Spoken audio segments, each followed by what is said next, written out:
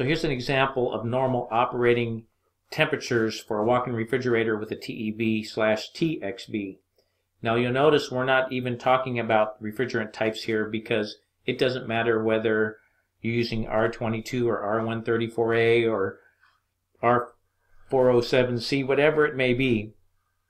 It really doesn't matter. We're only worried about temperatures at this point. The only reason we take our pressure readings is to convert them over to temperatures.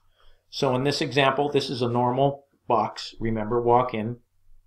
We have a box temperature of 35 degrees Fahrenheit. The TXV is mounted right, the sensing bulb is mounted right here on the suction side. The line temperature is 35 degrees. Our outdoor ambient temperature is 95 and the line temperature and the condensing uh, the line temperature of the condenser is 115 degrees. So first let's take a look at the suction side. This is remember this is normal. So we have a 35 degree box temperature with a 25 degree evaporator temperature. So this is the saturation temperature of the refrigerant in the coil, which is 25 degrees. To get your TD, you subtract the evaporator temperature as read on your gauges it in and converted to temperature to the box temperature, which is what you would read with your thermometer. You have a, a temperature differential in the evaporator of 10 degrees Fahrenheit.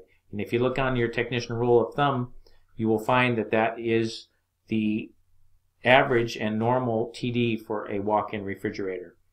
Also, our superheat is 10 degrees. You get your superheat by measuring the line temperature at the sensing bulb, and then you from that you subtract the 25 degree Fahrenheit evaporator temperature, and that gives you 10 degrees of superheat, and that is our uh, rule of thumb. That is a good and normal superheat. Now let's take a look at the condenser side of the walk-in refrigerator.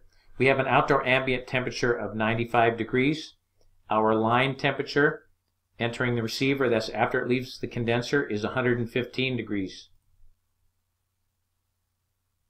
Now we will take a, let's look at the condenser split. The con condenser split in this example is the condensing temperature of the refrigerant, which is what you're going to be reading on your high side gauges, converting the pressure into temperature. We've converted it to 125. The ambient temperature or the air entering the condenser is 95 degrees Fahrenheit. The condenser split is the condensing temperature minus the ambient air temperature or the air flowing across the condensing coil to give you a 30 degree split. And that, for the sake of this chapter, is normal.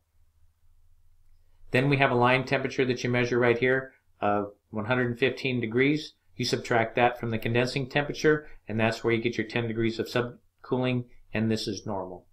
The one thing I want to tell you is if this ambient temperature drops below 70 degrees Fahrenheit, it's going to have a little bit of a, an effect on your subcooling by increasing it.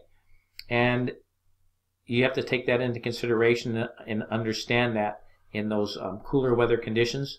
Also, uh, if the ambient temperature rises above 95 degrees Fahrenheit, it's going to start to degrade the system's capability to um, refrigerate properly. So anything above 95 degrees tends to fall outside of manufacturer's design. So that's something else to keep in mind. But for the sake of all of these troubleshooting examples, we're going to be working with a 95 degree outdoor ambient temperature.